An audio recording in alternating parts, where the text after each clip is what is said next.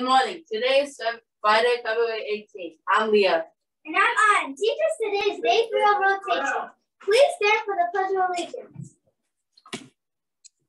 I pledge allegiance to the flag of the United States of America and to the republic for which it stands, one nation, under God, indivisible, with liberty and justice for all. Please remain standing for the moment of silence.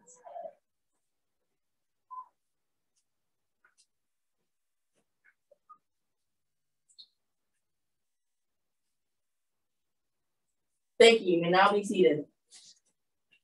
We will now hear from Mr. Luciani. Woo! Thank you, girls.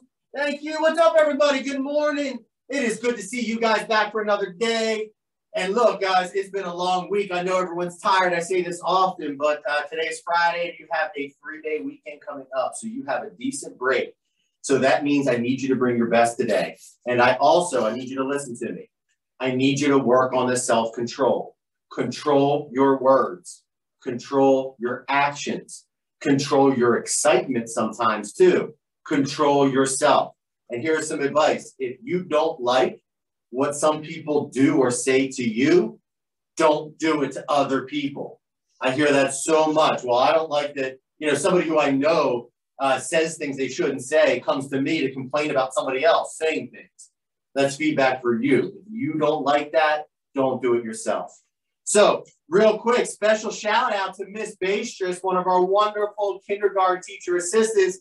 It is her birthday this today, and I know she kept it a secret. As, as I kind of shouted it throughout the hallways, people who work most closely with her were like, what? So, kindergarten team out there, kindergarten students, it's Miss B's birthday. So, make sure she has a great day today. And the next day we will be in school is Tuesday. And it's Tuesday, 2 22 22 kind of wild. So we might try to have a little fun on Tuesday. But I hope you guys have a fantastic day today. Control yourselves. Give your absolute best. Leave this school knowing you're the only one who knows if you gave it everything you got and do it together because together we are Pattie strong. Have a great day.